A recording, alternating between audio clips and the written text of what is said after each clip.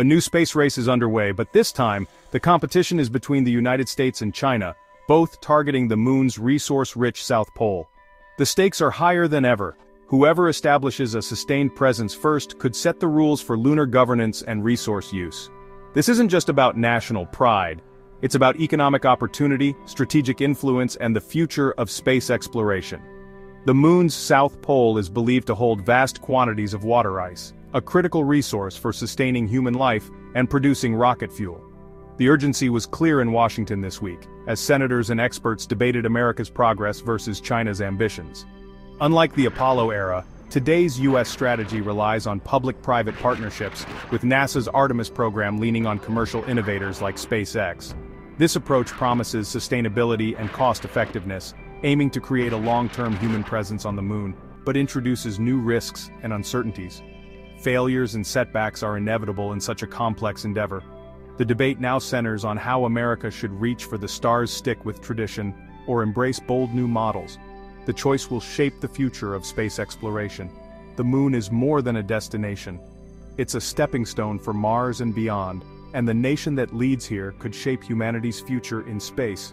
Establishing a foothold on the moon could pave the way for missions to Mars and other distant worlds.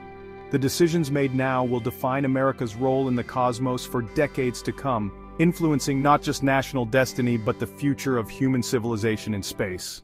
On September 3, 2025, former NASA Administrator Jim Bridenstine delivered a stark warning to the Senate. America is unlikely to land on the moon before China. He criticized NASA's reliance on SpaceX's Starship for the Artemis program, calling it a risky and unproven choice. Bridenstine argued that the current plan is fundamentally flawed and that no permanent NASA administrator would have approved it. He warned that seeing a Chinese flag on the lunar South Pole first would be a blow to U.S. prestige and global leadership.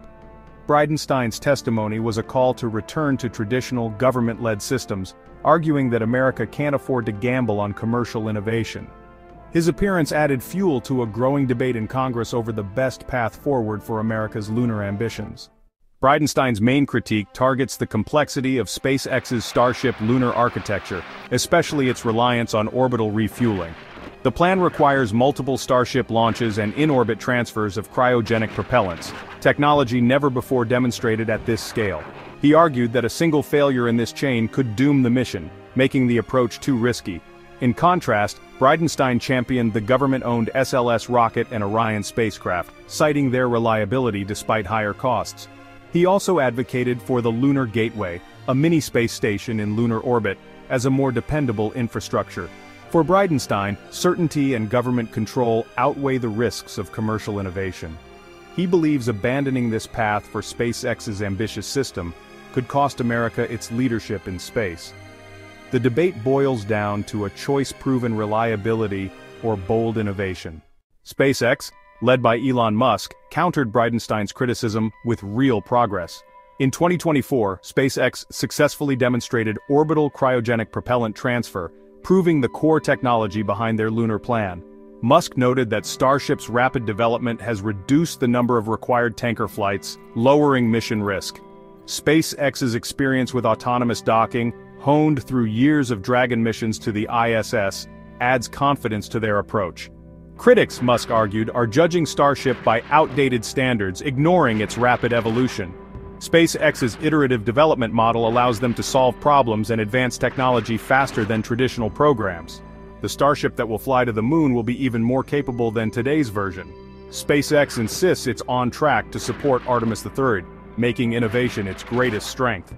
While the US debates its next steps in space exploration, weighing budgets, priorities, and the balance between public and private partnerships, China's lunar program advances steadily, propelled by a clear national vision and unwavering government support. The China National Space Administration aims to land taikonauts on the moon by 2030, or perhaps even sooner, according to some experts who point to the rapid pace of recent developments. China's methodical, state-backed approach contrasts sharply with America's more decentralized public-private model, where innovation thrives but coordination can lag.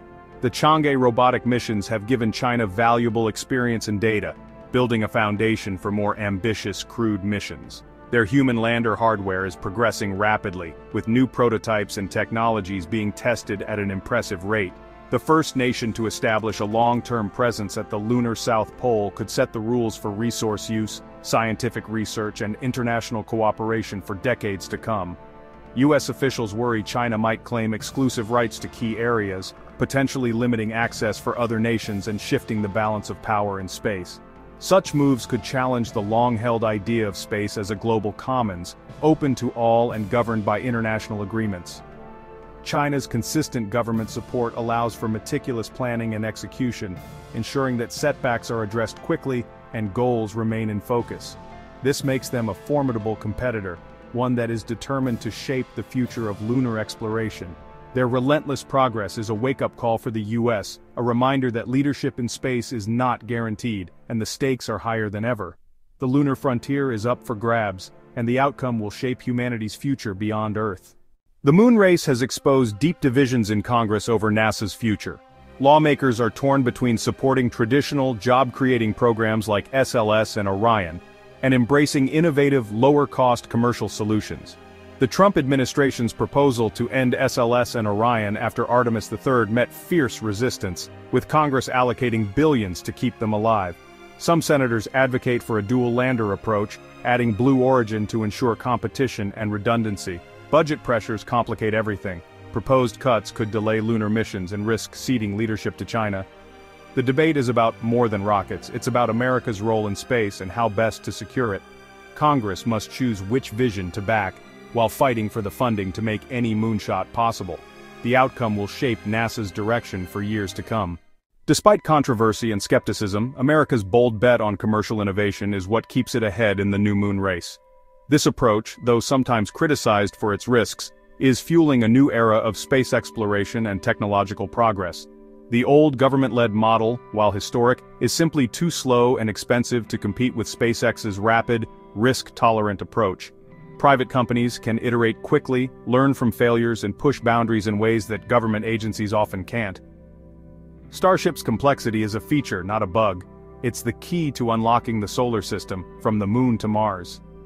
Its ambitious design allows for missions that were once only science fiction, opening doors to new possibilities for human exploration. By mastering orbital refueling and reusability, NASA and SpaceX are building the infrastructure for the next century of exploration. These breakthroughs will make deep space missions more sustainable and affordable, paving the way for a permanent human presence beyond Earth. SpaceX's operational tempo and culture of continuous improvement are unmatched by traditional programs. Their ability to launch, land and relaunch rockets in rapid succession is transforming what's possible in spaceflight. The commercial model delivers cutting-edge capabilities faster and cheaper, giving America a true edge over China's state-run system. This advantage is crucial as the global competition for space leadership intensifies. The race is between two visions, methodical state control versus dynamic public-private partnership. America's collaborative model brings together the best of both worlds government resources and private sector ingenuity.